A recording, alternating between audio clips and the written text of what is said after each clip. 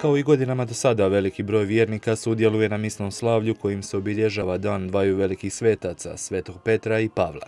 Govoreći Sambona, katedralni župnik istaknuje kako bi nam sveci trebali biti primjerom ispravnog kršćanskog života. Jer sveci su nam darovani da bismo Boga osjetili blizim, da bi nam blizina sveti bila ohrabrenje i pomoć.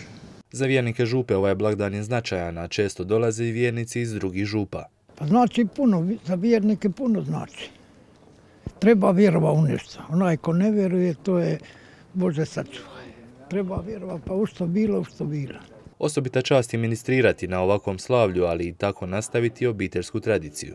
Tata me na početku, on, moja obitelj je cijela prije ministrirala i onda su tako mene uvukli davno, pa onda sam i ja počeo i tako sam nastavio. Sveti Petar predstavlja učiteljstvo i tradiciju, a Sveti Pavao puteve širenja kršćanstva, obilježe koja bi i danas trebala označavati život kršćanina.